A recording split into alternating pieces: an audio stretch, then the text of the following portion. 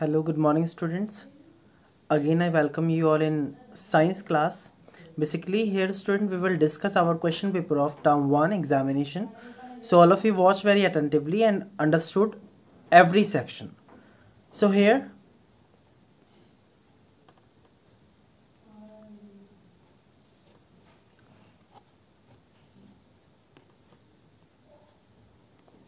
subject science and maximum marks are 80 then all question are compulsory means जितने भी question हैं, सारे आपके लिए कंपल्सरी है मीन्स आपको सारे क्वेश्चन अटेम्प्ट करने हैं।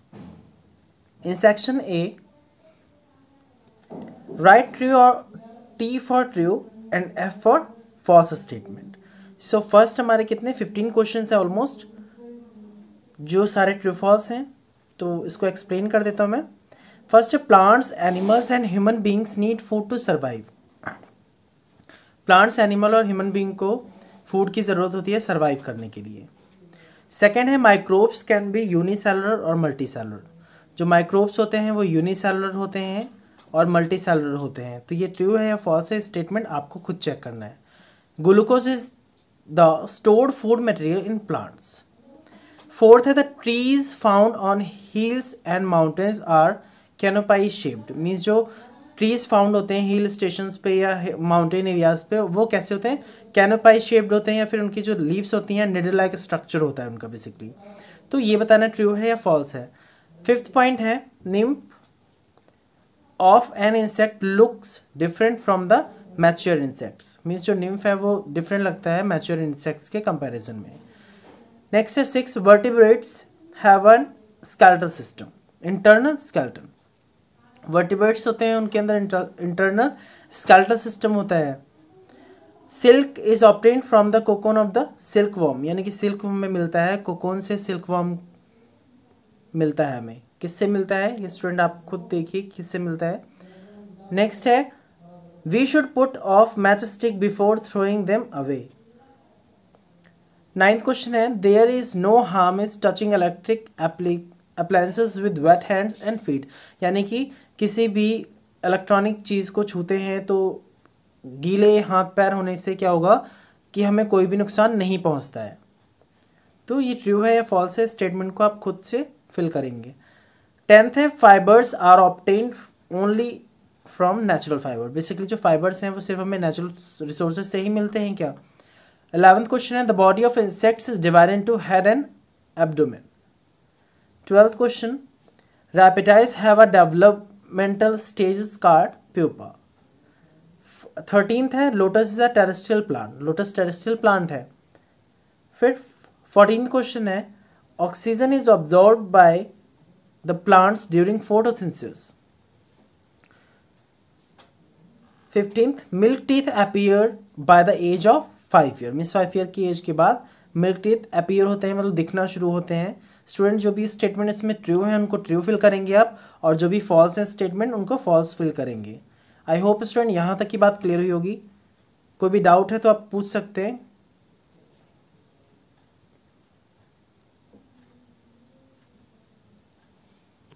स्टूडेंट जो भी डाउट है, आप यहाँ से पूछ सकते हैं, उसके बाद आगे बढ़ेंगे फिर। ट्रू फॉल्स स्टूडेंट हमारे 15 मार्क्स के थे, या फिल इन द ब्लैंक्स भी हमारे 15 मार्क्स के हैं means each carry one marks में सभी के लिए वन मार्क्स है। नेक्स्ट है wearing is must while riding in a car जब भी हम गाड़ी में ट्रैवल करते हैं राइड करते हैं तो उसके ड्यूरेशन में हमें किस चीज़ को पहनना बहुत ज़रूरी होता है। नेक्स्ट है linen is obtain from the stem of plant किस स्टेम किसके स्टेम से हमें लेनिन ऑप्टेन होता है। नेक्स्ट है are long jackets made up of waterproof synthetic fibres long jacket किस वाटरप्रूफ सिंथेटिक फाइबर से बनाए जाते हैं? नेक्स्ट है बैकबोन प्रोटेक्ट अस बैकबोन कैसे प्रोटेक्ट करती है हमें? नेक्स्ट है rabbit and mole are the animal which live in जो रैबिट और मोल हैं, वो कहाँ रहते हैं? किस जगह पे रहते हैं? किस तरह से रहते हैं बेसिकली नेक्स्ट है provide nutrition to grow embryo embryo को ग्रो करने के लिए कौन सा पार्ट है का जो उसको सपोर्ट करता है या फिर हेल्प करता है उसको न्यूट्रिशन के लिए। नेक्स्ट है pupa grows inside the pupa कहाँ ग्रो करता है, किसके इनसाइड में ग्रो करता है। नेक्स्ट है एर्थ हमारा इज़ एन एक्वेटिक प्लांट किसी भी एक एक्वेटिक प्लांट का नेम आपको यहाँ पे लिखना है। नाइन्थ है most of the trees on the earth are of the type किस तरीके के प्लांट्स होते हैं ऑलमोस्ट ट्रीज जो फाउंड होते हैं, वो किस तरीके के ट्रीज फाउंड होते हैं अर्थ पर। क्वेश्चन नंबर टेन है इसका green leaves are known as the of plant plant का ग्रीन लीव्स को प्लांट का क्या बोला जाता है? नेक्स्ट है eleventh act as decomposer decomposer की तरह कौन परफॉर्म करते हैं? कौन से इंसेक्ट या फिर डिकम्पोजर में कौन कौन से चीज़ें आती हैं बेसिकली ट्वेल्थ में eat teeth of meat eating animals are highly developed highly developed teeth जो मीट ईटिंग एनिमल्स होते हैं, उनमें किस तरीके के टीथ्स होते हैं? कनाइन या फिर इंसीजर, प्रीमोलर, मोलर किस तरीके के होते हैं तो आपको वो उनमें से चूज़ करके लिखना है। थर्टीन में the process of digestion begins in the digestion का प्रोसेस कहाँ से शुरू होता है, वो बताना है। फोर्टीन में is one of the richest source of protein सबसे ज़्यादा richest source of the protein क्या है, वो बताना है आपको इसमें। फिफ्टींथ में vitamin and minerals are known as foods vitamin और मिनरल्स को फ़ूड का सोर्स बोला जाता है। किस तरीके का सोर्स बोला जाता है, वो आपको बताना है। स्टूडेंट सेक्शन ए में आई थिंक फिफ्टीन आपके ट्रू फॉल्स और fifteen fill in the blanks थे। उनमें से अगर कोई भी डाउट है तो आप मुझे लाइव चैट के थ्रू पूछ सकते हैं। बाद में आप मैसेज करके ना पूछिएगा। जो भी पूछना है, इस वीडियो के थ्रू ही पूछ लीजिए। अगर कोई भी डाउट है तो आप यहाँ से क्लियर कर सकते हैं। मैसेज करके पूछ लीजिए। अगर कोई डाउट नहीं है then you say no problem sir then we should move on next section next section में हमारे टू मार्क्स का पर्टिकुलरली एक पॉइंट रहेगा बेसिकली तो हमारा मैचिंग है। मैचिंग को स्टूडेंट आप सामने भी लिख सकते हैं। जैसे आयरन का करेक्ट मैचिंग क्या होगा? जो भी मैचिंग होगा, आप उसको उसके फ्रंट में लिखेंगे। ओके जो भी करेक्ट होगा, वो आप फ्रंट में लिखेंगे। आयरन है, सामने उसके वैनिगर है। केमिकल ट्रीटमेंट बेसिकली किसमें यूज़ करते हैं? तो वो बताना है। उसके सामने ब्लड फॉर्मेशन लिखा। फिर इंसिसर्स क्या है? सलाइवा है माउथ फिर उसके सामने गिल्स है टेटपोल क्या है? एट लिखा हुआ है। तो मैचिंग आपको क्या करना है? बहुत ध्यान से करना है। और मैचिंग कोशिश करिए, सामने लिखें उसकी। आयरन का करेक्ट क्या है, उसके सामने लिख दीजिए, ज़्यादा बेस्ट रहेगा। टेन मार्क्स की आपकी मैचिंग है। फिर डिफाइन और कीवर्ड्स की बात करें। स्टूडेंट मैंने डिफाइन द फॉलोइंग और कीवर्ड्स कुछ चैप्टर्स में मैंने कीवर्ड्स को लिखवाया आपको।